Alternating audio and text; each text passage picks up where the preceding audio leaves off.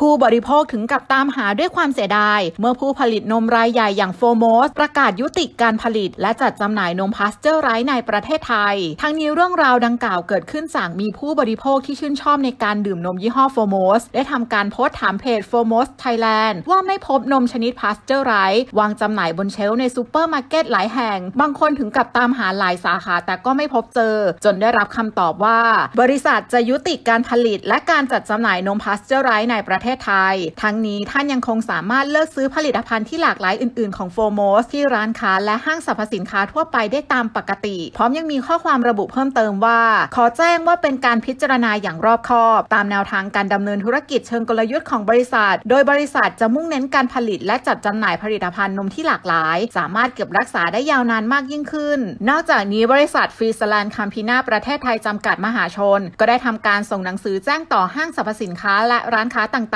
ๆ ว่าขอยุติการจัดส่งสินค้านมพาสเจอร์ไรซ์งานนี้ก็ทำเอาหลาย ๆ คนที่ชื่นชอบในการดื่มนมโฟร์โมสต์ชนิดพาสเจอร์ไรซ์ใจหายใจคว่ำกันไปตามๆกัน แต่ทั้งนี้ผลิตภัณฑ์นมในรูปแบบกล่องหรือว่า UHT ยังมีการจัดจำหน่ายต่อไปตามปกตินั่นเองค่ะ